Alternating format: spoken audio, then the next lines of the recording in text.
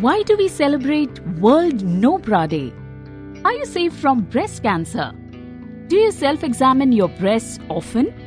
Claiming countless lives every year, almost 2 million new cases of breast cancer are reported. It is estimated that 1 out of 22 women in India get breast cancer once in their lifetime. Myths versus facts. Use of deodorants can cause breast cancer. Don't worry, you can safely use deodorants as these do not cause cancer.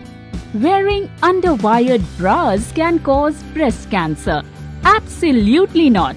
Wearing any type of bra does not cause cancer. Breast cancer is an inherited disease. Most women diagnosed with breast cancer have no known family history. Sugar consumption can cause breast cancer. There is no evidence that sugar in diet can cause breast cancer. Common causes of breast cancer.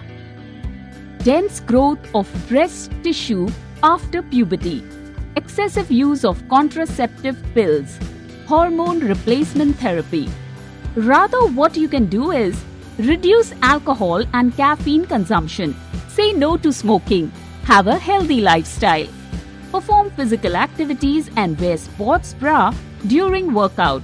Include vitamin D in your diet. Go out in the sun and if required, take supplements. Gorge on dark chocolate. What are the symptoms of breast cancer?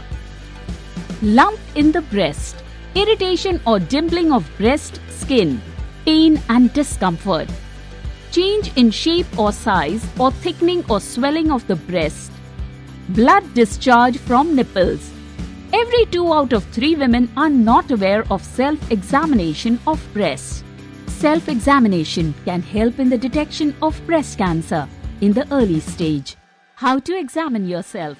Stand in front of the mirror and check your breasts by applying gradual pressure with your fingers. Move your fingers over your breast in circular motion.